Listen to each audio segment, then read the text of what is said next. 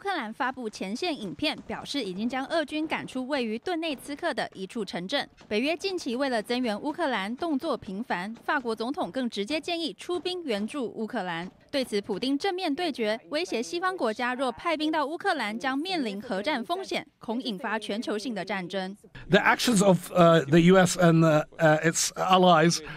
Basically dismantled the system of the European uh, security, and it's very risky. Of course, we have to work on the, the formation of a new lines of the equal and unchallenged security in Eurasia. We are ready to talk to any countries who are interested in it. And I want to emphasize, and I think that today it's very important for everyone, without sovereign, strong Russia, there won't be any strong peace in the world. It's impossible.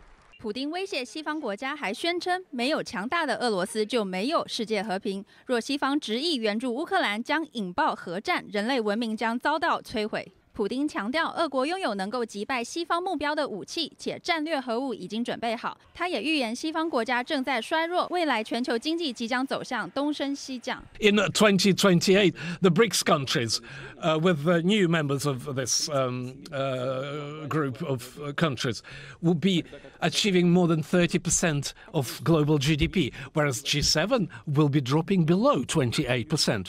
美国针对普丁的核武威胁论，则做出灭火的回。